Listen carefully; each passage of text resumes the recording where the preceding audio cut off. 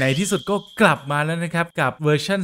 0.7 ของเกม Goodbye Eternity นะครับ เชื่อว่าหลายๆ คนเนี่ยตั้งหน้าตั้งตารอคอยอย่างยาวนานจริง ๆ นะครับ กับอัปเดตนี้ เพราะว่าอัปเดตนี้นะครับ เราจะได้ตอกน้องยันจังแล้วนะครับ น้องหัวจมปูนั่นแหละ ผมขอเรียกว่ายันเดเลจัง ยันจังอะไรอย่างนี้แล้วกันนะครับ เพื่อความเข้าใจง่ายเนาะเราไม่ต้องพูดพร่ำทำเพลงให้มันเยอะครับ เราไปลุยกันเลยดีกว่านะครับผม Sam, hold up. Wait a minute. Something ain't right. Let's go!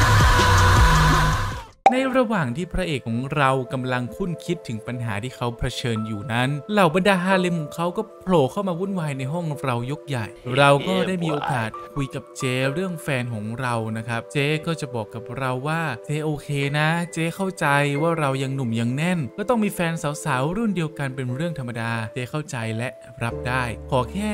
เราเนี่ยมีเวลาให้เจในยามที่เจต้องการแค่นี้เจก็พอใจแล้วโอ้นี่ไงเสน่ห์สาวใหญ่สายมิลฟ์มันอยู่ตรงนี้เลยทุกคน นอกจากจะแซบเด็ดดวงแล้วเนี่ยที่เยี่ยมไปกว่านั้นคือ เขาเข้าใจนะครับ และโอเพนไมล์สุดๆ เลยพูดเสร็จเนี่ยก็ออกมาข้างนอกห้องนะครับ เราก็จะได้ยินแฟนสาวกับน้องสาวของเราเนี่ยเมาส์มอยเรื่องของเราอย่างสนุกสนานนะเพื่อไม่ให้เป็นการขายหน้าไปมากกว่านี้ พระเอกของเราเลยรีบเข้าไปขัดจังหวะทั้งสองคนนะครับดูเหมือนว่าตอนนี้แฟนเราก็สนิทกับน้องสาวเราเป็นที่เรียบร้อยแล้วนะหลังจากแยกย้ายกับโนริโกะอาซามิก็จะชวนเราไปเที่ยวที่บ้านของเธอ เธอตั้งใจจะแนะนำเราให้รู้จักแม่ของเธอนะครับพอไปถึงบ้านน้องน้องก็จะพาเราไปรู้จักกับแม่ของน้องนะครับแม่น้องเขาชื่อซายูริส่วนพ่อเนี่ยไม่ค่อยอยู่บ้านต้องไปทำงานต่างถิ่นบ่อยๆ ทิ้งให้คุณแม่ต้องเหงาอยู่บ่อยๆ น่าสงสารมากๆนะครับน้องแนะนำเราให้รู้จักกับแม่เสร็จสับเนี่ยก็จะส่งซิกกับแม่เนาะว่าเฮ้ยแม่รีบออกไปข้างนอกเสีย หนูกับแฟเนี่ยอยากจะได้เสียกันอะทำนองนี้นะ ซึ่งแม่เขาก็รู้งานด้วยนะโอ้โหแจ๋วเลยนะฮะพร้อมที่จะดูฉากเสียวก็กดเข้าไปที่ห้องของน้องได้เลยนะครับผมไม่แน่ใจเหมือนกันนะครับว่าเขาเพิ่งเพิ่มเสียงเข้ามาหรือยังไง แต่ตอนนี้ฉากเสียวมีเสียงแล้วนะครับทุกคน และตัดมาตรงนี้ครับในระหว่างที่เรากำลังเสียวกันอย่างเมามันนะฮะจะเสร็จอยู่แล้วเชียว ยันเดเรจังของเรานะครับก็มาเกาะที่หน้าต่างนะครับโหน่ากลัวมากช็อตนี้ ทั้งคู่เนี่ยก็ตกใจขี้แตกเลยนะพระเอกของเราเนี่ยก็รีบขอตัวออกไปคุยกับน้องยันทันทีเลยนะครับออกมาข้างนอกก็แทบพังงะนะครับเพราะว่ายันเดเรจังเนี่ยเขาเข้ามาในบ้านแล้วเฉยเลย ไม่รู้ว่าเข้ามาได้ยังไงแต่น่ากลัวชิบหายนะครับคำแรกที่น้องพูดเนี่ยคือสั่งให้เราหลีกทางให้เธอนะครับ เธอจะเข้าไปฆ่าซามิอย่างนี้แหละไอเราเนี่ยก็โมโหนะครับเลยพูดสวนกลับไปว่า อย่าได้คิดจะแตะต้องอาซามิเด็ดขาดนะซากุยะก็ตอบกลับมาอย่างมีเหตุผลนะครับว่าเราขวางเธอไว้ไม่ได้หรอก หรือจะคอยอยู่ใกล้อาซามิตลอดเพื่อคอยปกป้องเธอเนี่ยเราเองก็ทำไม่ได้เช่นกัน ทันทีที่เราเผลอเมื่อไหร่เธอจะเข้าไปตรงนั้นและฆ่าอาซามิทันที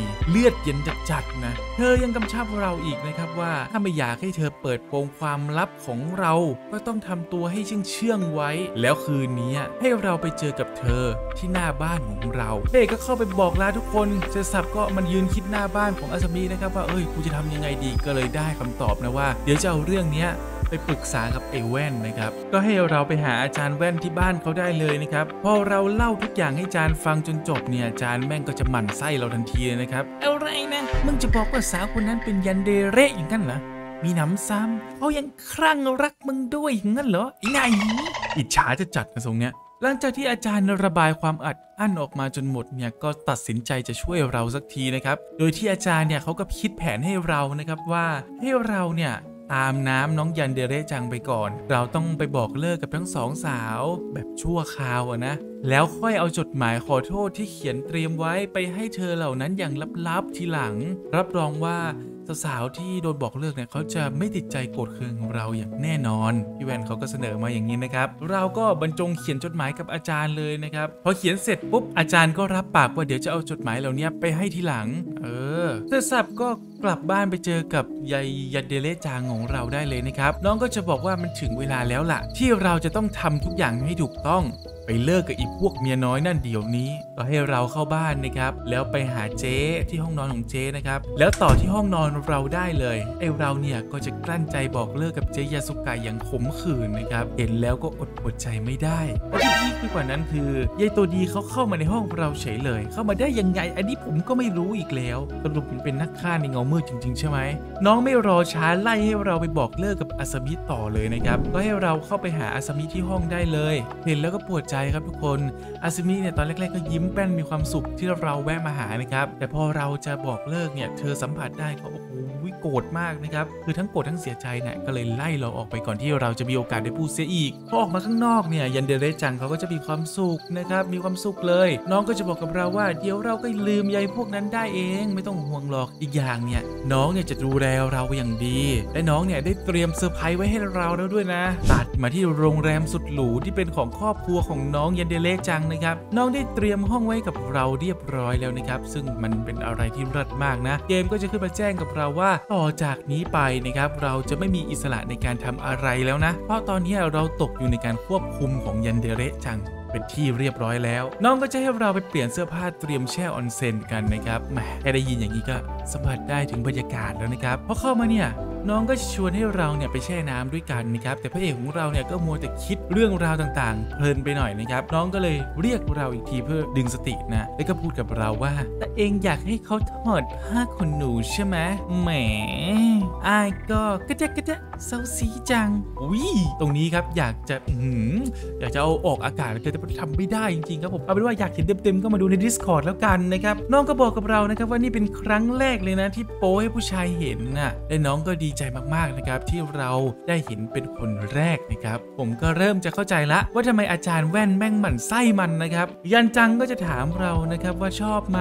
ชอบไหมเป็นยังไงชอบปะเตงอะไรอย่างนี้นะครับเราเนี่ยก็จะตอบแบบไหนก็ได้นะครับแต่ผมขอตอบว่าชอบแล้วกันนะน้องก็จะขอบคุณเรานะครับด้วยวิธีสุดพิเศษที่ออกอากาศไม่ได้อีกแล้วนะครับเช่นเคยครับ อยากเห็นเต็มๆ อยากรู้ว่าเป็นยังไง โดยที่ไม่ต้องเล่นเอง เข้ามาดูใน Discord ได้นะครับผม เช้ามาพระเอกก็ลองขอน้องเข้าเมืองดูนะครับ หวังว่าจะแอบแวะไปหาไอ้แว่นนั่นแหละ ยันจังเขาก็บอกว่าถ้าจะเข้าเมืองเนี่ย เธอจะเข้าไปด้วย ไอ้เราก็ซึมดิ ก็เลยบอกว่าโอ้ยถ้าอย่างนั้นไม่ไปแล้วนะครับ เคเค bye bye ตัดมาที่ไอ้แว่นนะครับที่กำลังจะเอาจดหมายที่เตรียมไว้ไปให้สาวๆนะครับ แต่ก่อนอื่นเนี่ยก็ขอแวะไปแอบถ้ำมองน้องเชียร์คีก่อนสักหน่อยแล้วกัน แต่ดูเหมือนว่ารอบนี้เนี้ยไอ้แว่นจะโชคไม่ดีเหมือนรอบก่อนๆนะครับเพราะว่าไอ้แว่นของเราเนี่ยโดนไอ้เชี่ยงอกและเหล่าบรรดาขี้ข้าของมันเล่นงานเสียได้นะครับไอ้เชี่ยงอกเนี่ยก็สั่งให้พวกขี้ข้าลากไอ้แว่นไปซ้อมที่โกดัง เดี๋ยวเขาจะแวะไปเช็คงานทีหลังก็ว่ากันไป ย้ายมาที่บ้านของอาสมินะครับซายูริผู้เป็นแม่ก็เป็นห่วงลูกสาวอย่างมากนะครับเนื่องจากเธอร้องไห้ไม่หยุดเลย จึงได้ขอให้ลูกสาวเปิดประตูให้เธอเข้าไปหน่อย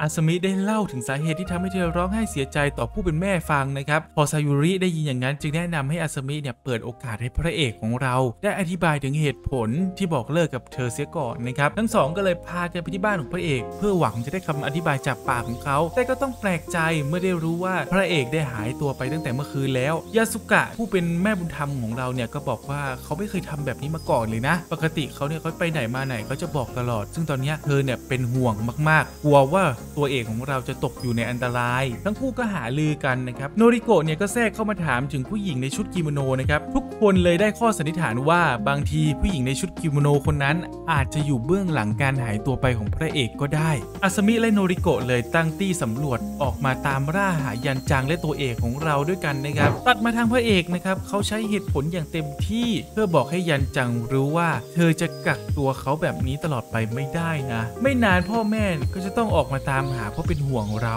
เรื่องมันจะไปกันใหญ่ได้นะยันจังจึงตอบกลับมาว่า เธอน่ะรู้อยู่แล้ว เธอไม่ได้ตั้งใจที่จะกักขังหน่วงเหนียวตัวของเราไว้แต่อย่างใด เธอจะปล่อยเรากลับบ้าน แต่อย่าได้คิดที่จะไปปฏิสัมพันธ์กับเพศตรงข้ามแม้แต่นิดเดียวเชียวล่ะไม่งั้นกูตัดเขวยแน่ ย้ายมาทางพวกขี้ข้าที่เพิ่งซ้อมเพื่อนแว่นของเราตามคำสั่งของไอ้เชี่ยงอกเสร็จนะครับไอ้พวกขี้ข้าเนี่ยเขากำลังยืนคุยกันตามภาษาขี้ข้าเขาคุยกันนะครับไอ้เชี่ยอากิล่าเนี่ยก็เข้ามาเสือกว่าเอ้ย พวกมึงทำอะไรอยู่ชักว่าให้กันอยู่เหรอไอ้พวกขี้ข้าเนี่ยก็บอกว่าอ๋อซ้อมไอ้แว่นมาอากิระได้ยินอย่างนี้ก็ขอเข้าไปเสือกข้างในโกดังนะครับแต่ว่าไอ้ขี้ข้าตัวกลางเนี่ยเขาก็จะแบบห้าวๆหน่อยครับลุกขึ้นสู้หน่อยประมาณว่าแบบเอ้ยมึงมีสิทธิ์จะเข้าไปว่าอะไรเงี้ยก็ปากแจ๋วใส่ใช่ไหมครับแต่เพื่อนๆออกมาเดี๋ยวไม่ support เลยสักคนนะเพราะไอ้อากิระเนี่ยเขาเข้าไปข้างในใช่ไหมครับ พวกขี้ข้าตัวอื่นเนี่ยมันก็พูดทำนองว่า เฮ้ยมึงจะปากดีมึงก็ดูหน่อยดิวะกูไม่ช่วยพวกมึงหรอกนะเว้ย ถ้าเกิดมีเรื่องกับมันนะกูสู้มันไม่ไหวนะหลังจากนั้นก็เล่าถึงเรื่องราวในอดีตของไอ้อากิระว่ามันโหดยังไงนะครับ เดี๋ยวผมสรุปให้สั้นๆเลยอากิระเนี่ยมันโหดมากมันโหดที่แบบสามารถ 1 ต่อ 20 ได้เลย คือเคยใช้ไอตัวด้ามไอติมนะครับควักลูกตาของเหยื่อออกมาด้วยนะ โหดระดับนั้นเลยนะครับโอ้โหเก่งเหลือเกินนะไอสัตว์เอ้ยพอไอเชกิระเนี่ยมันออกมาจากโกดังนะครับมันก็ได้จดหมายที่ไอแว่นเตรียมจะไปส่งให้กับสาวๆติดมือมาด้วย พอมาได้อ่านก็เกิดไอเดียตั้งใจจะเอาไอจดหมายพวกนี้ไปแบล็กเมลสาวๆนะครับคือเฮี้ยจัดอะเฮี้ยยังไงก็เฮี้ยอย่างนั้นนะตัดมาทีมสำรวจอีกครั้ง รอบนี้ทั้งสองเขาค้นทั่วเมืองแล้วก็ไม่เจอตัวเอกของเราเลยนะครับ เหลือแค่ร้านอาหารนี่แหละที่ยังไม่ได้เข้าไปค้น ก็เลยพากันมาเช็คนะครับ แต่ไม่ทันได้เข้าไปก็โดนน้องยันเดเรจังไล่ตะเพิดนะ ก่อนจะถอนตัวอาซามิเนี่ยเขาก็ถามไปว่าโอ้ขอละขอถามแค่เรื่องเดียวเลย คือตอนนี้เธอกับโนริโกะเนี่ยกำลังตามหาคนคนหนึงอยู่ แต่ไม่ทันได้ถามเสร็จนะครับยันเดเรจังเขาก็ตะเพิดใส่อีกรอบหนึ่งนะครับว่าเอ้ยผู้ชายคนนั้นไม่ได้อยู่ที่นี่อาซามิได้ยินก็ถอนตัวอย่างโดยดีนะครับยันจังกลับเข้าร้านมาอย่างงุดงิดนะฮะพอพระเอกทำงานเสร็จเนี่ยเขาก็จะขอตัวกลับบ้าน ยันจังก็เลยออกอุบายให้เราไปเยี่ยมห้องเธอเสียก่อนนะครับพอเราเข้าห้องเธอมาเนี่ยก็โดนเธอป้ายยาจับมัดเก้าอี้เรียบร้อยรู้เรื่องนะครับเอาเป็นว่าผมตัดจบไว้ตรงนี้ก่อนแล้วกันนะครับบอกได้คำเดียวว่าคุ้มค่ากับการรอจริง ๆ ครับกับอัปเดตครั้งนี้ชอบมากฉากเสียวก็เสียวสุดใจนะครับสะใจที่ได้ต่อกับน้องยันเดเระจังสักทีนะ เพราะว่าส่วนตัวแล้วผมชอบน้องมานานแล้ว ยังไงก็อย่าลืมกดไลค์กด sub ให้กำลังใจไอ้โจ๊กคาร์บอยซ่ามาเฟียโหดคนนี้ด้วยแล้วกันนะครับ เอาละไปแล้วนะครับ ไว้เจอกันใหม่บ๊ายบาย